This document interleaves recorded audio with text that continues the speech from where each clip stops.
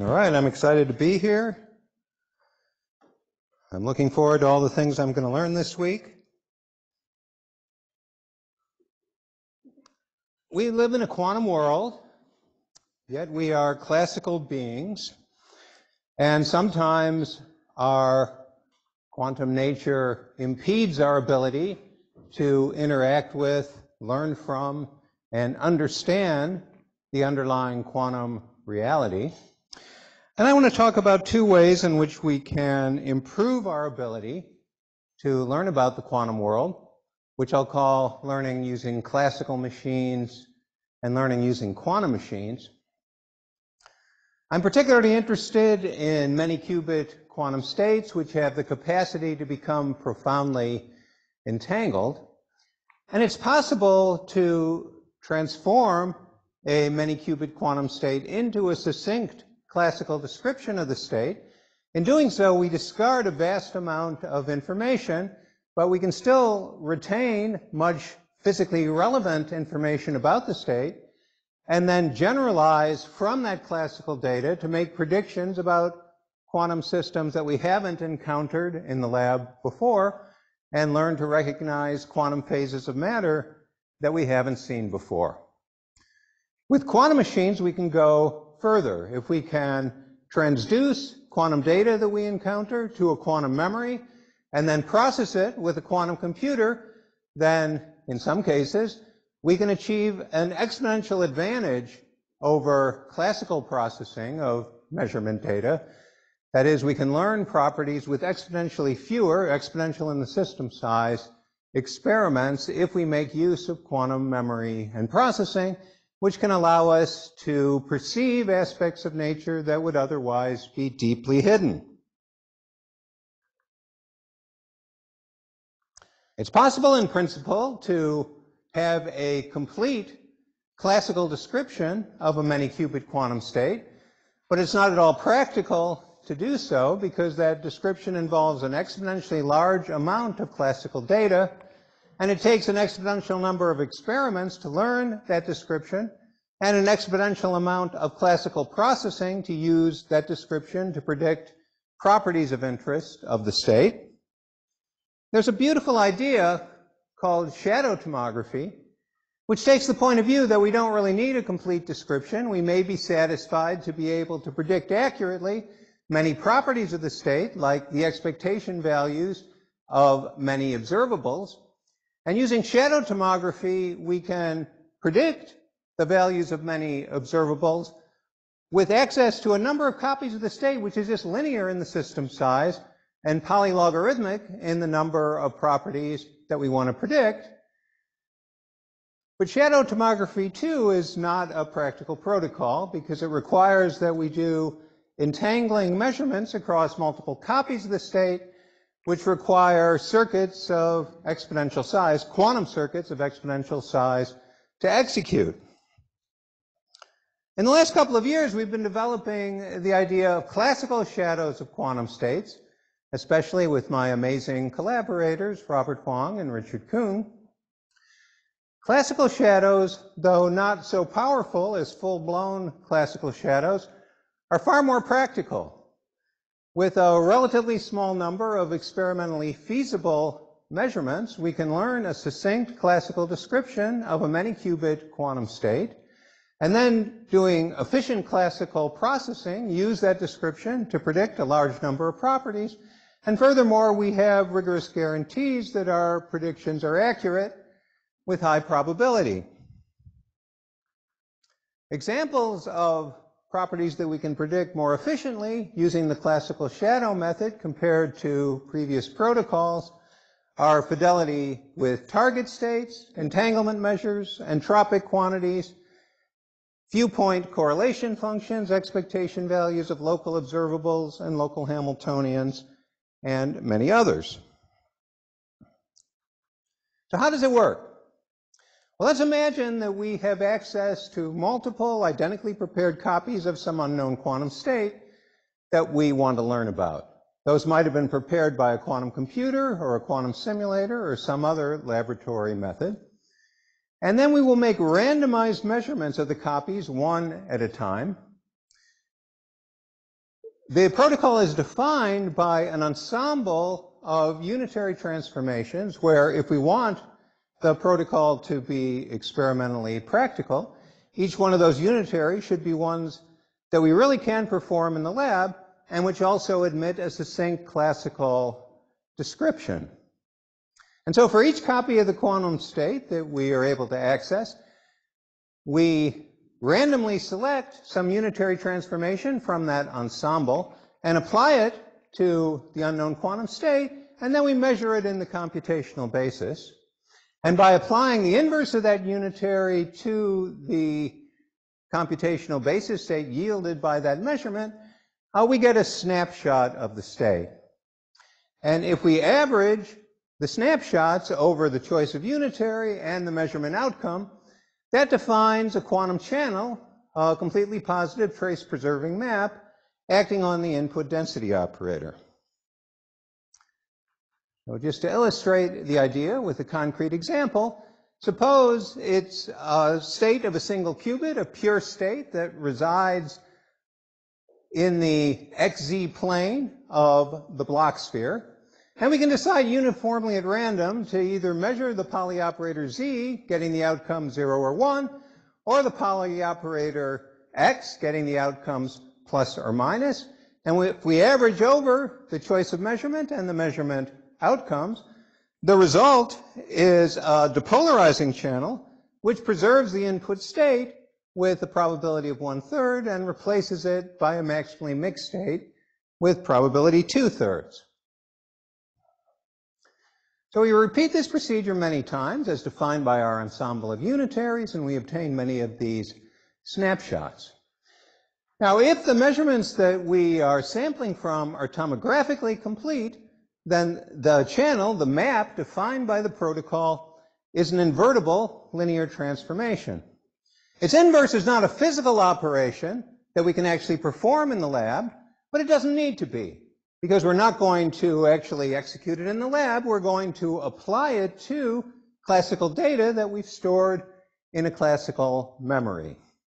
And then if we apply the inverse of the channel to all of our snapshots, then the expectation value of those inverted snapshots is just the input density operator defined by the protocol. So or, or that was received by the protocol. So if I want to estimate the expectation value of some observable, particularly if it's one that I can describe succinctly classically, I can calculate the expectation value for each one of these inverted snapshots, and then by averaging over the choice of measurement and the measurement outcomes, I obtain an unbiased estimator for that property of the density operator.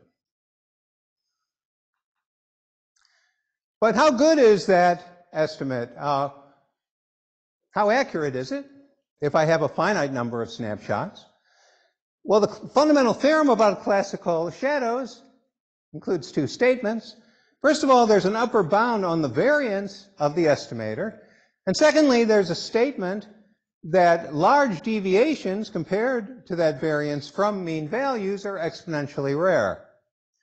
So that means I can take a total of capital N inverted snapshots, and I can, with high success probability, accurately predict a number of expectation values, which is exponential in that number of snapshots, the number of states that I measured.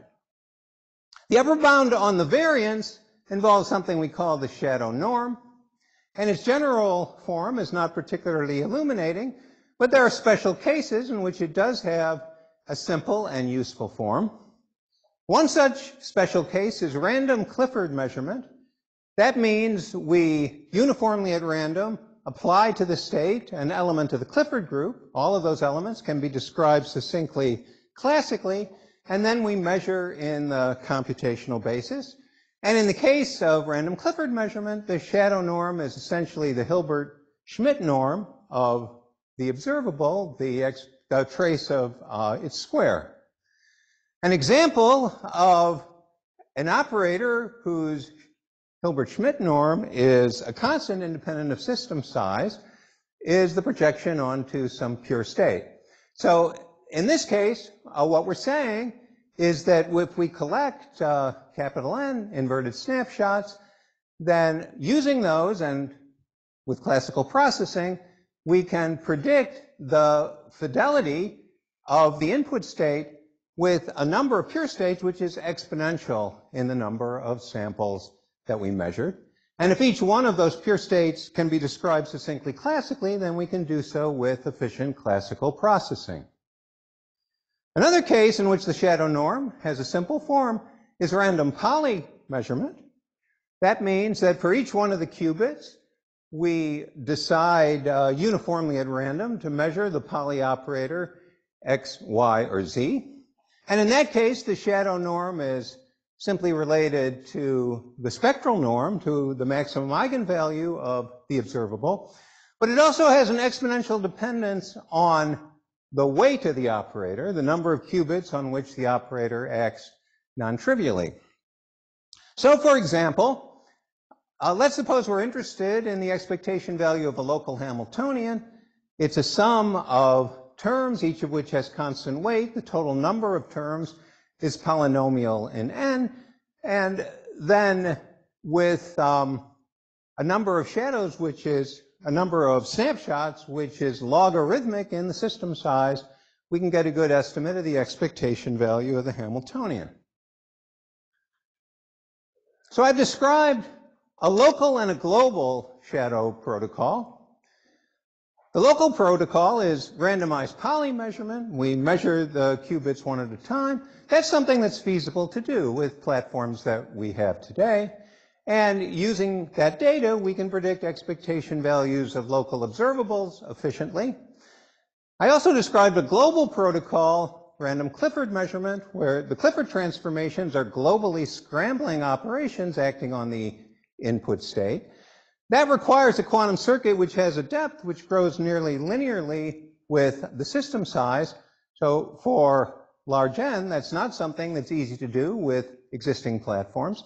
But if we can do it, then we can get access to some global properties of the state which are not accessible to the local protocol.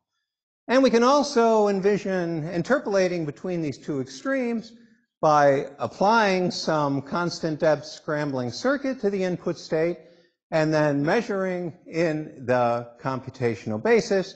And as the depth of that circuit increases, we get access to operators of increasing weight, but the task of classically inverting the channel, the channel defined by the shadow protocol becomes increasingly complex. This method is nicely robust with respect to noise. It's a welcome feature that the randomization in the protocol simplifies the noise, mapping it to a Pauli noise channel, which can be characterized relatively cheaply. And once the noise is characterized, we can include it in our channel inversion to obtain an unbiased estimator of the state. Though, of course, the sampling error in our determination of that Pauli channel will contribute to the variance of that estimator. In a recent review, we distilled the philosophy of such randomized measurement protocols to an aphorism. You don't need to know at the time that you measure the samples what target properties you're going to be interested in, so you can measure first and ask questions later. And in fact, Many of the applications of classical shadows the last few years have involved reanalyzing data taken in quantum experiments where originally there was a different purpose in mind. Just as an illustration, here's an example based on data taken in an experiment by the Innsbruck group a couple of years ago using 20 qubits in an ion trap they were interested in studying the low energy spectrum of one-dimensional quantum electrodynamics. Uh, you can view that as a system of n qubits where the number of terms in the Hamiltonian is quadratic in n.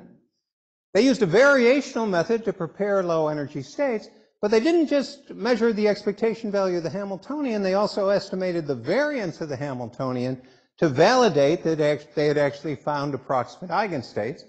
Ideally, in an energy eigenstate, the variance of the Hamiltonian would be zero. And that means they had to estimate the expectation value of the square of the Hamiltonian, which has of order n to the fourth terms, a lot of terms, when n is equal to 20.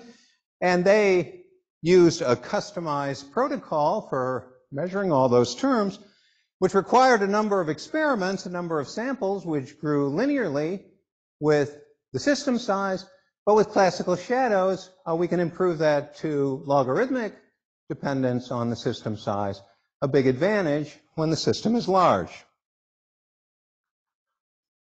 So now that we've seen that it's possible to translate a many qubit quantum system to succinct classical data while retaining the ability to predict many properties of the state, it's natural to ask whether we can use classical algorithms to attack quantum problems where the input to the problem is such a classical description of classical shadow.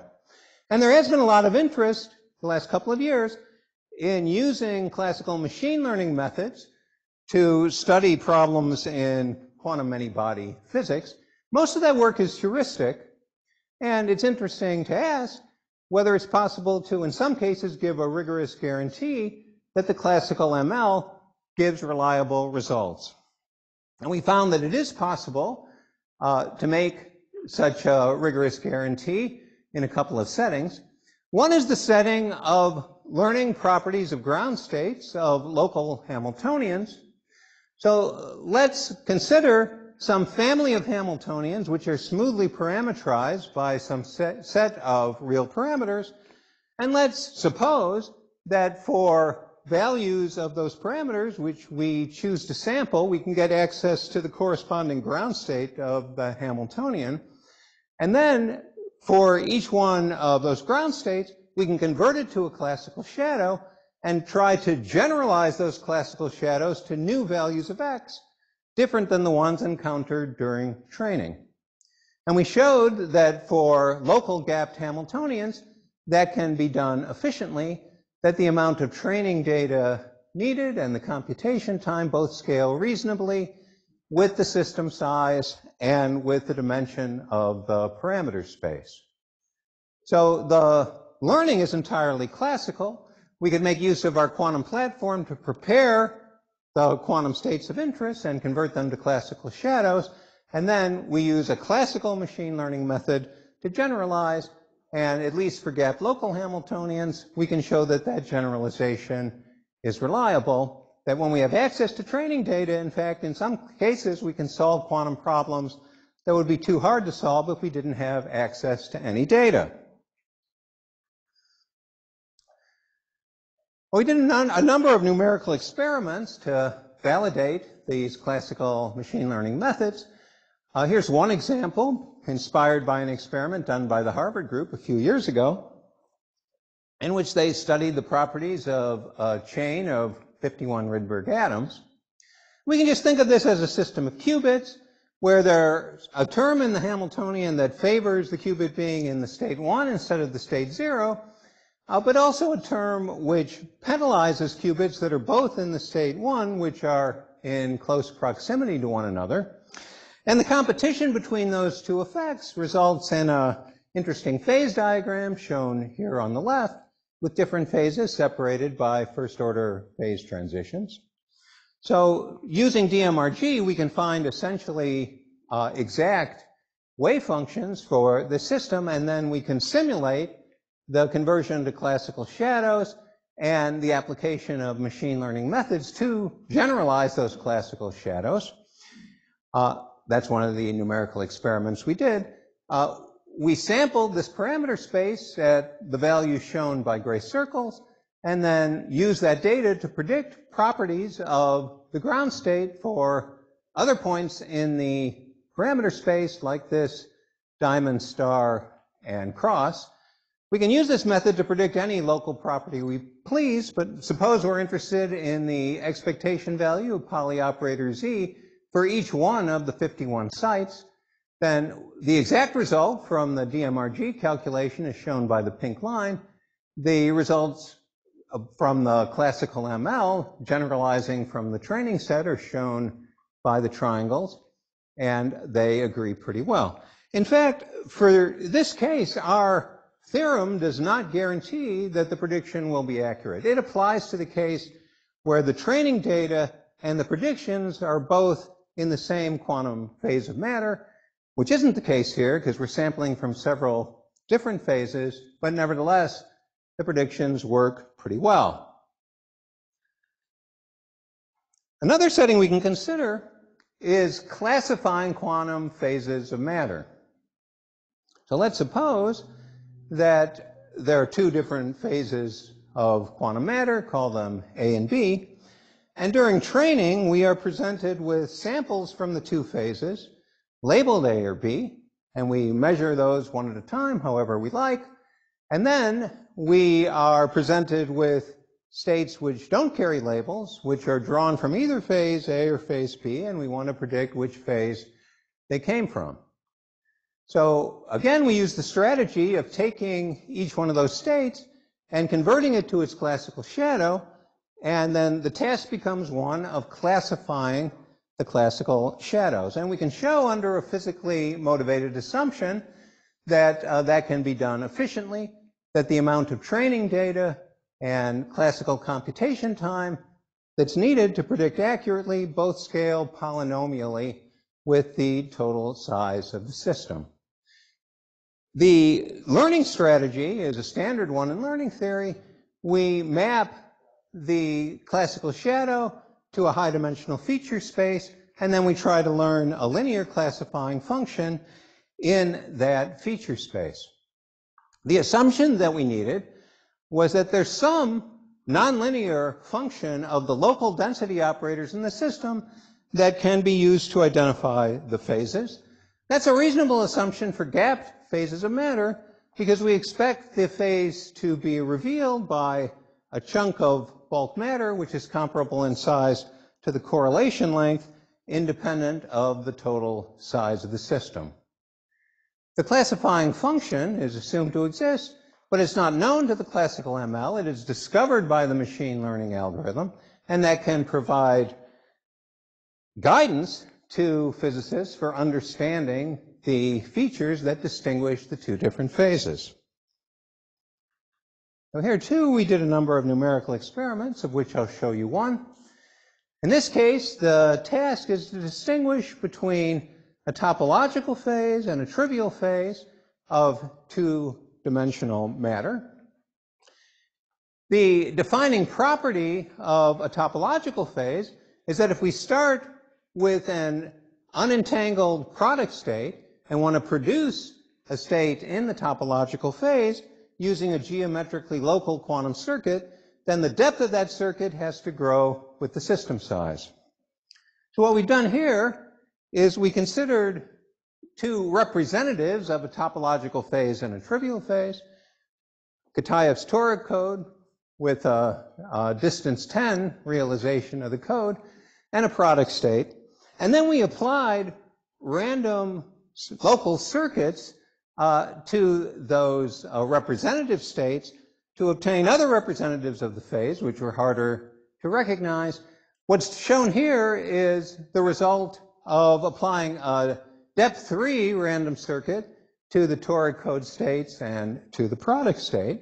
And then we take the classical shadows, we map them to the high dimensional feature space, and then project that down to its two principal axes, those that give the highest variance for the data. And we can see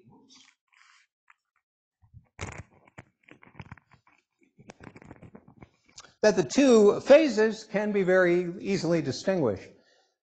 In this case, there was no uh, label training data at all. The learning was unsupervised, but the distinction between the two phases is sufficiently robust that label training data is not needed to distinguish the two phases well. Shown on the right is a one-dimensional representation of the data, just showing one uh, principal axis. Um, you can see how the data clusters as we increase the size of the random circuit applied to the trivial state and to the toric code state. And until that random circuit reaches a depth of 5, which is half the distance of the toric code, we continue to be able to distinguish the two phases well.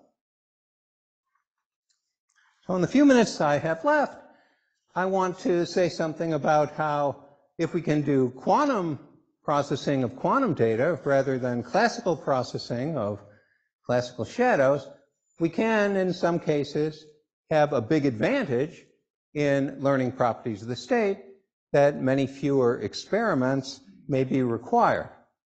So again, I want to consider a situation in which I have access to multiple identically prepared copies of an unknown state. And then we distinguish two different ways of learning about the state. In the conventional setting, we measure the copies one at a time, however we like. We store all that data, and then we use that classical data and classical processing to make our predictions. That's what we've been considering up until now. And in fact, those measurements can be adaptive. So the measurement that we perform on each copy can be conditioned on the outcomes of measurements that were performed in earlier rounds. Contrast that with the quantum enhanced setting, in which we take quantum data and transduce it to a quantum memory. So we have multiple copies of the data stored in a quantum memory, and then we process it using a quantum computer and eventually make measurements from which we extract our predictions. And we can prove that in some cases, the quantum enhanced setting has an exponential advantage. The number of experiments that are needed to learn properties of interest are exponentially fewer in the system size if we make use of quantum memory and quantum processing. And that theorem applies to ideal quantum processing, but in fact, the quantum processing that's needed to achieve that advantage is so simple, it can actually be carried out in existing platforms. So we were able to do a proof of concept experiment using up to 40 qubits of the Google Sycamore processor.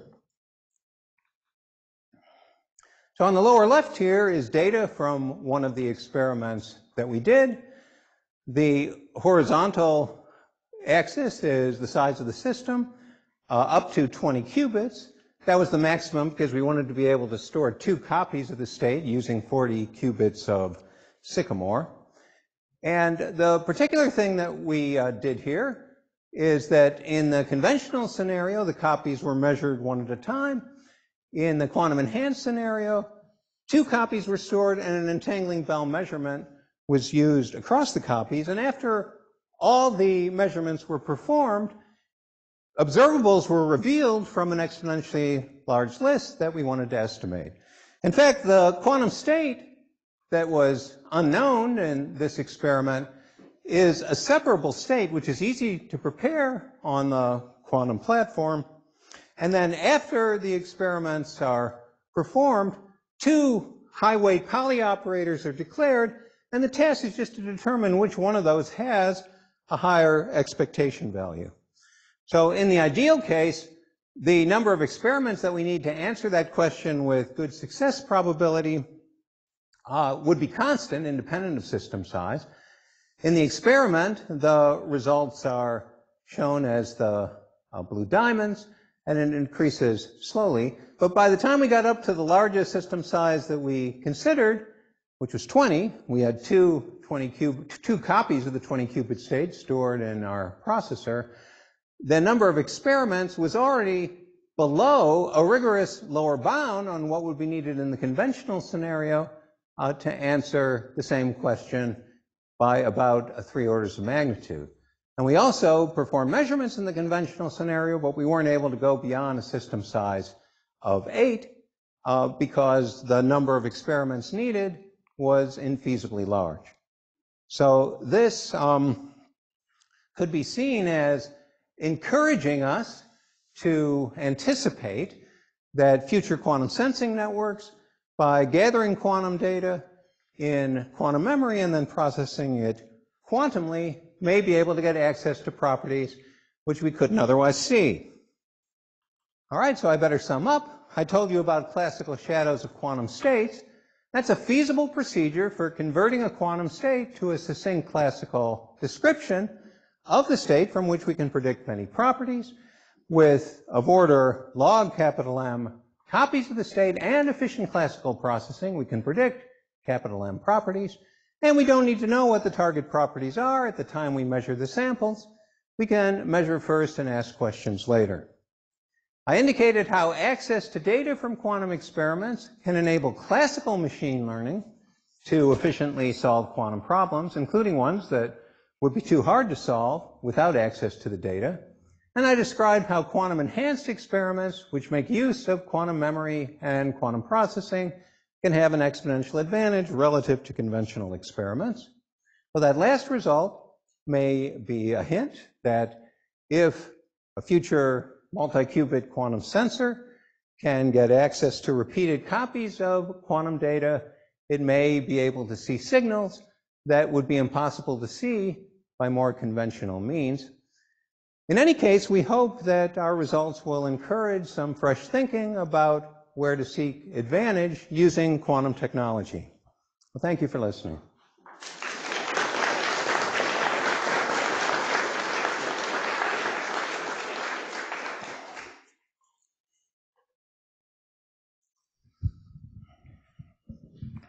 When you apply the random unitaries to your state and then do the measurement, mm-hmm. how like deep, uh, you know, you're, you're performing some two qubit gates. How deep do those two qubit gates have to be to get a, you know, the proper random unitary?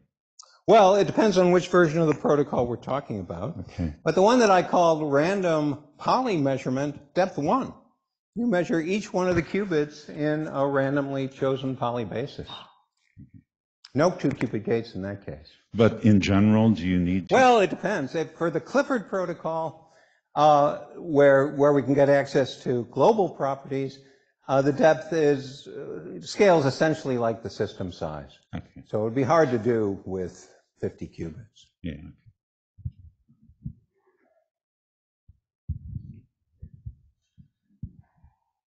like general conceptual question. Um, when I was in high school, uh, I was trained by um, uh, senior so, post-Soviet scientists, and we would solve problems.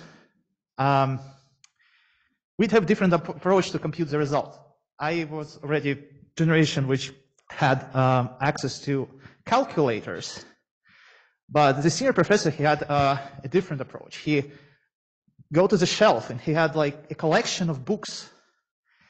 And what those books were, is they were uh, tables of all, say, possible logarithms. And he took this book, he needed logarithm, he looked at this book and find the, found the uh, correct number in it. Uh, do you see this um, future of this technology is kind of, kind of this book? So while we don't have access, like widespread access to quantum computing, is it possible that some universities companies that have access to huge devices and experiments can create a database of these classical shadows for many relevant scenarios such that anybody can go and using classic computer as, as this professor can go to the uh, to the uh, bookshelf and find the results they need. And even if using the machine learning, can I also find like results which are not in the text in the book, but somewhere in between two values using kind of machine learning. Is that, do you think it's where we, we go? Yeah, I think that's happening now. I mean, people uh, who have done these kinds of randomized measurements have uh, stored and shared their data, and you know, other people have been able to analyze that to predict other properties, uh, in addition to those that uh, the experimenters had in mind when they made the measurements. Now, another question that you might be hinting at is, let's say in that library, I have uh, lots of books that, you know, like the handbooks that give properties of many different chemical compounds, and people are interested in using classical machine learning to generalize from that data to predict properties of other compounds, including ones that haven't yet been synthesized. And our results don't guarantee you can do that because I don't know how to translate the data in the handbook into something like the classical shadow protocol. Um, And so we don't, so any ideas about that currently are heuristic, but I think we can envision being able to make use of such data in a way that uh, allows us to get some rigorous guarantees about generalizing from the data in the handbooks. Let's see, there are a few questions in the back, maybe, Ollie, you can run the, or maybe you can run.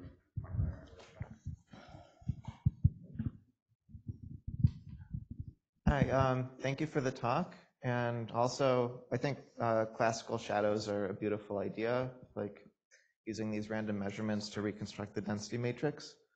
Um, but they're not the only way of using random measurements to um, measure these observables. For example, if you are interested in Renyi entropies, there are other ways of using randomized measurements to measure Renyi entropies. If you want to measure like a Hamiltonian that has polynomial, polynomial many local terms, you could just like measure in random Pauli bases and then see like which terms in the Hamiltonian are diagonal in the like in the bases that you've chosen to measure in, and then just like sample those terms, sum them together, and take the weighted sum without ever reconstructing the density matrix. Uh, so I was wondering if you could say more about how classical shadows compares to other ways of using randomized measurements to estimate these observables. Uh, yeah, well, of course, you're right. Uh, there's a large uh, family of randomized measurement uh, protocols, of which uh, classical shadows is a special case. And uh, um, it's good that you reminded people that, in fact, such methods were being used uh, before our work to, you know, learn interesting properties of many copy states. Uh, our motivation, to begin with at least, was to try to get rigorous guarantees. And so, you know, our focus has been on uh, what are the conditions under which we can prove something about uh, the reliability of the predictions. Um, and uh, there are uh, ways of making them, uh, making the predictions more efficient for special cases, in which ca- in cases in which you don't um, measure first and then ask questions later, but actually customize the randomized measurements for a particular task. And that can outperform the, you know, randomized standard uh, classical shadow protocol.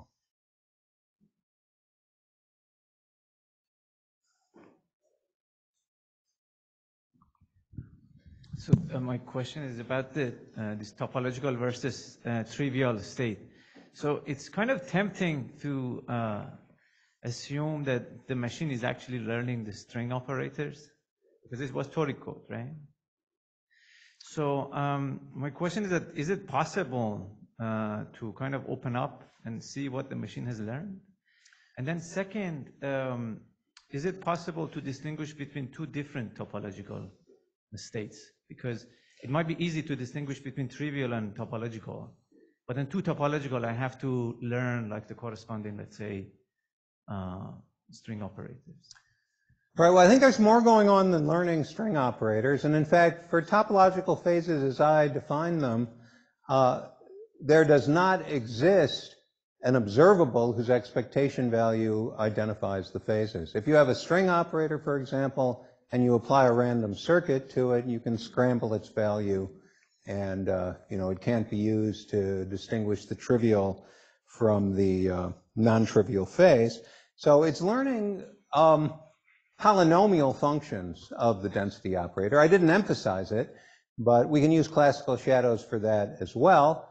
Um, Renyi entropies are an example. We can think of learning a polynomial function of the density operator as learning expectation values of some observable acting on multiple copies of the state. And um, so it might be learning things like, uh, you know, topological entanglement entropy, some nonlinear property which could, in principle, distinguish different topological phases. I had a follow-up question to that, actually. So the number of um, copies of the system that you need in order for the classical machine learning to learn a given phase probably tells you something about the observable that the that's being learned. Is that correct? Because the shadow norm changes. Yeah, but in principle, we know more because the, uh, we actually, um, the classical ML tells us what the function is. Now, whether it's easy for humans to interpret that function is, is another question. But um, of course, that's a, a good challenge for the theorists.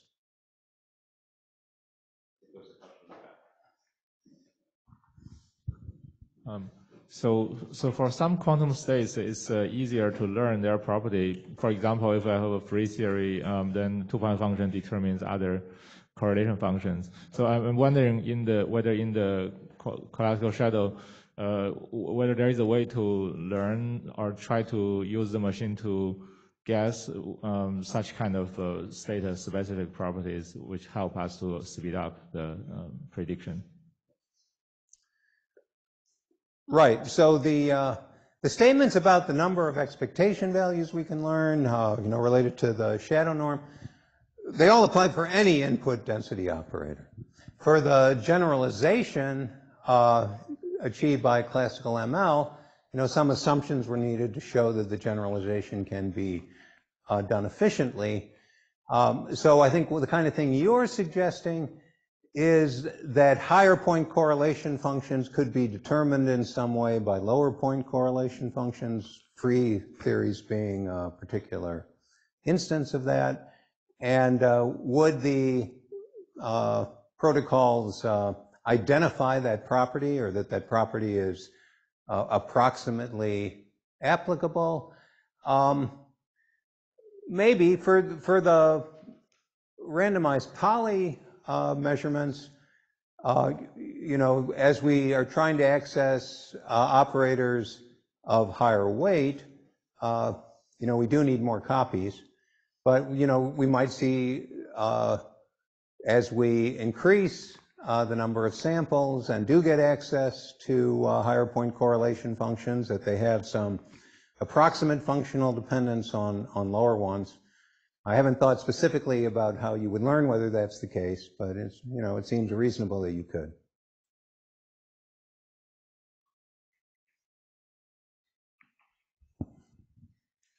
Hi, uh, thank you for your talk. Um, I was wondering whether you've worked on or thought about um, how or how to distinguish maybe gapless critical states using uh, these protocols and how the circuit depth would scale in a situation like that. So you're asking about the, uh, what we know about the performance of classical machine learning in the case of uh, systems that are not gapped. Yeah, so for our um, statement about learning properties of ground states, uh, we made use of the uh, fact that the phases were gapped and had a finite um, spatial dimensionality uh, in order to have nice smoothness properties of how the ground state uh, depended on um, the parameters. And um, at least the methods that we use to establish that uh, don't apply to the gapless case. I don't think that means that, that it's hopeless, um, but it would require some more sophisticated way of controlling the variation in the parameter space of ground state properties than we came up with. Uh, Can I ask a question on this? Uh, So the way that tensor network representation kind of give rise to a numerical simulation algorithm, do you think this shadow tomography can kind of like hint at a, as a, I don't know, classical simulation strategy for quantum systems? Uh, So say that again, you said something about a tensor So, network Yeah, like tensor network representation kind of give rise to the idea of like some, some sorts of like numerical algorithm for simulation of quantum systems. I was wondering if this, this classical shadow tomography can also be used to come up with an algorithm to sim- like classically simulate some quantum systems. And Yeah. um, So I guess your question is, can we leverage classical shadows to develop tensor network methods that give more accurate approximations I mean, than? not necessarily tensor network, I just mentioned tensor network to just hint at, I mean, tensor network can be seen as a classical representation of quantum states, and then you, you can use that to basically run simulations, like nu- numerical classical simulations. Right. I was wondering if like you can use classical shadows to come up with maybe a completely different classical algorithm to simulate quantum systems. Well, one question you could ask, and I don't have a good answer to it, uh, is um, with tensor networks, we can do simulations of dynamics under suitable conditions, namely that the state doesn't become too highly entangled so that the bond dimension doesn't uh, blow up. And uh, so suppose we have a classical shadow and we'd like to evolve the state and have some guarantee that after some finite time, we, the updated state has, um, is a good approximation to the exact updated state. And um, at least for sufficiently short times, that ought to be possible. But we don't have very um, sharp results like that. I think it's a good thing to think about. And one last question.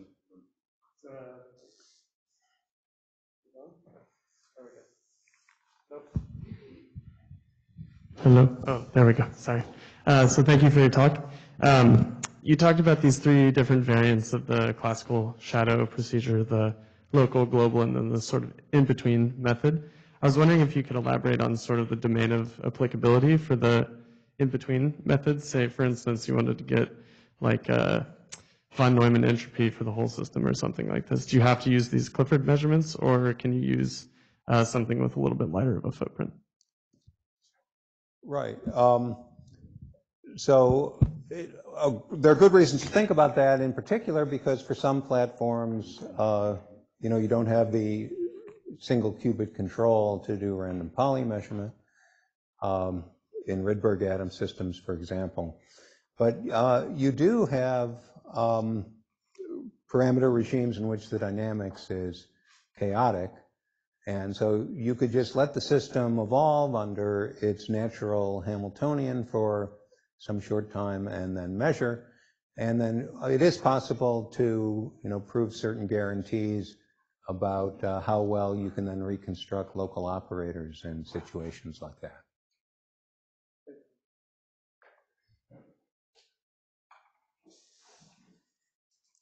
Here, you want to put this on? Okay, great. Well, um, thank you, John, again for a nice talk.